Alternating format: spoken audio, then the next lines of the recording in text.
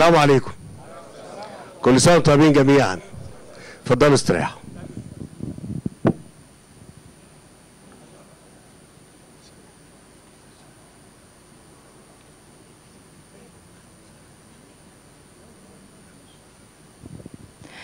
سيادة الرئيس كل سنة وحضرتك طيب. رمضان كريم ولفتة طيبة وجميلة ورائعة إن يكون أول ليلة في رمضان. وأول سحور إن حضرتك آه، تتسحر وسط آه، أولادك وأهلك وناسك من آه، عمال ومهندسي وشباب مصر الحقيقة اللي موجودين هنا من كل محافظات الجمهورية. مفيش محافظة في مصر مش موجودة هنا معانا دلوقتي. متمثلة في شبابها وعمالها ومهندسيها والسواعد اللي قدرت إنها تحول الحلم الحقيقة في العاصمة الإدارية الجديدة. من صحراء إلى أراضي ومعمار الحقيقة موجود دلوقتي على أرض الواقع. هم اللي اشتغلوا فيه وهم اللي قدروا إن هم يبنوها بطموحهم وب يعني طاقتهم الإيجابية جدا والقوية جدا. محافظات مصر كلها حاضرة معانا هنا في أول ليلة من ليالي شهر رمضان الكريم. كل سنة وحضراتكم طيبين ومصر كلها طيبة. وكمان الأجمل إن حتى الأجواء الفنية والغنائية اللي هتكون معانا النهاردة من شباب الدوم اللي هم كلهم من محافظات مصر. الفرقة اللي هتبقى معانا دلوقتي سيادة الرئيس كل فرد فيها وكل شاب فيها من محافظة مختلفة وقدر إن هو يفوز ويكسب ويحقق نجاح وتميز في آلة بيتفرد بيها. وكل يعني تميز في الآلات دي كلها قدروا إن هم يكونوا فرقة فرقة الدوم من محافظات مصر المختلفة. حقيقة رمضان دايما ليه أجواء خاصة جدا هنا عندنا في مصر. وأغاني كلاسيكية كبيرة جدا بنسمعها وبتحسسنا دايما بأجواء رمضان. ومن أبرز الأغاني دي رمضان جانا. بسم الله الرحمن الرحيم. مرة تانية كل سنة وأنتم طيبين. وأرجو إن إحنا يعني ما نكونش أثقلنا عليكم جميعا يعني. وحرمنا الأسر من من سحور أول يوم يعني. لكن كان مهم أوي إن إحنا نبقى موجودين مع بعض لمناسبة جميلة زي كده. فكل سنة وأنتم طيبين و... ودايما أيامنا إن شاء الله تبقى أيام طيبة وجميلة و... وفيها كرم ربنا سبحانه وتعالى. إن شاء الله يعني. فمش عايز اعطلكم أكتر من كده لسه هنكمل حاجة تاني. فبشكر طبعا الشباب وال آه، الإيد العافية اللي بتشتغل وبتعمل الأعمال الرائعة ديت على مدى السنين اللي فاتت يعني. ربنا يديكم الصحة وكملوا وإحنا زي ما أنتم شفتوا كده زي ما اتقال أرض كانت يعني كانت صحراء مفيش فيها حاجة. ولسه شوفوا الدنيا بقت عاملة إزاي؟ بفضل الله وبفضل جهدكم يعني. كل سنة وأنتم طيبين. اتفضلوا اتفضلوا.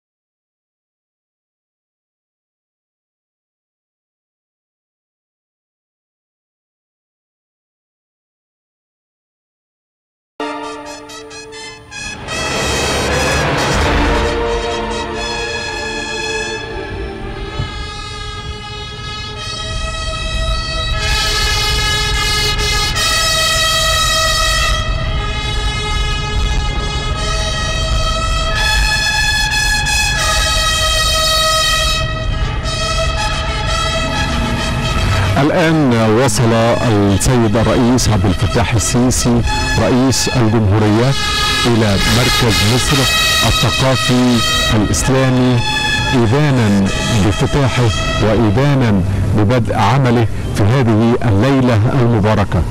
في أولى ليالي شهر رمضان الفضيل.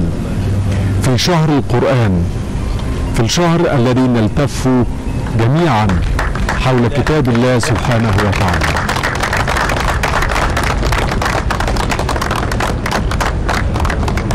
ربما حتى ناحية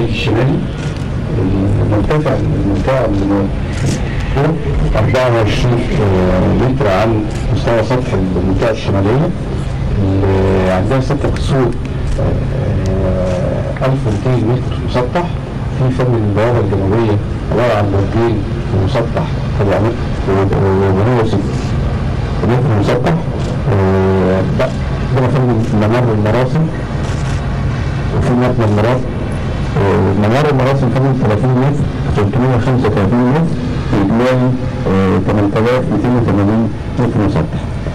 عندنا فن الجنب الشرقي والجنب الغربي الجنب الشمالي في فن عندنا مركز الثقافة الإسلامي 13000 متر من الجنب الغربي فن عندنا من المنطقة الشمالية ستة 14000 متر ومن المنطقة الشرقية 15000 متر إجمالي 42000 متر مركز ثقافي، مركز ثقافي فني يتكون من مركز إعلام ومكتبة عامة وأماكن لتحفيظ القرآن.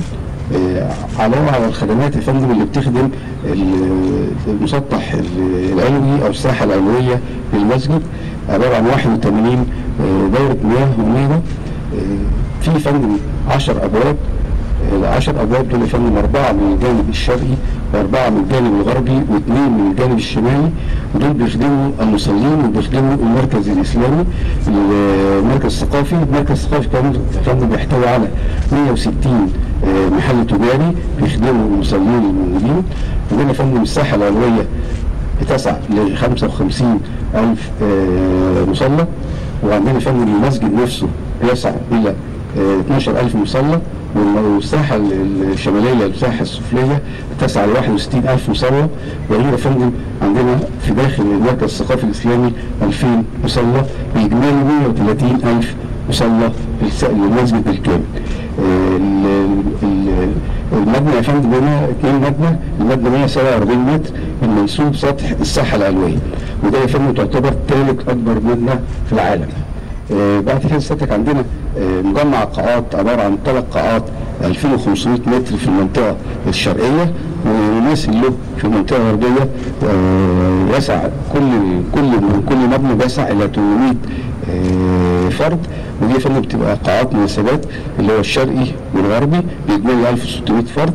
عندنا يا فندم البوابات بتاع اللي هي خاصة بالمركز الثقافي الإسلامي بت على بتفتح في الخدمات وفي الاسانسيرات والسلالم المتحركة على الرواق الشرقي وعلى الرواق الغربي. والرواق الشرقي والرواق الغربي فندم كل واحد فيهم 335 متر طولي. عندنا فندم المسجد والمسجد بعد إيه سيادتك فندم آه عبارة عن المسجد آه 14000 متر مسطح يسعى ل 12000 مصلي غير ست قاعات ملحقة به الست قاعات دول يا فندم بتستخدم في آه سواء كانت في مناطق في مناطق الصلاه للسيدات أو يا فندم تستخدم في الدروس الدينية بتتم فيها. عندنا بعد كده يا فندم في آه دار القرآن. ودار القرآن يا فندم دي عبارة عن 6800 متر مسطح. ودار القرآن مقسمة ل 30 آه اللي كل إيوان يا فندم خاص بجزء من القرآن الكريم. وغير يا فندم في مناطق آه، داخلية آه، للأبحاث ومناطق داخلية للندوات اللي بتتم جوه. غير يا فندم ان إحنا عندنا دلائل العظمه ودلائل العظمه دي يا فندم أنا سيادتك إن شاء الله هتشرف هناك وهتبقى بطريقة أوضح آه، من كده. إحنا كمان هنا يا فندم في مصحف سيدنا عثمان رضي الله عنه. والمصحف ده يا فندم عبارة عن 1000 آه، 1000 و- آه، 1084 1087 يا فندم آه، صفحة. وده أكبر آه، مصحف لسيدنا عثمان. في مصاحف في مصحف تاني بس حوالي 400 صفحة اللي موجود فيها. الحاجة الثانية يا فندم ان إحنا المسجد من جوه آه، إن شاء ربنا كرمنا جامد جدا وخدنا ثلاث شهادات للسيارات آه، عالميه في المقاسات المختلفة موضوع جينيس. آه، أول أول آه، شهادة خدناها هي للمنبر الداخلي والمنبر الداخلي ارتفاعه 16 آه، متر و45 سنتي وده أكبر منبر في العالم آه، متنفذ آه، في العالم الإسلامي أو غير الإسلامي متنفذ من اجود أنواع الأخشاب ومتنفذ يدوي وبالتعشيق.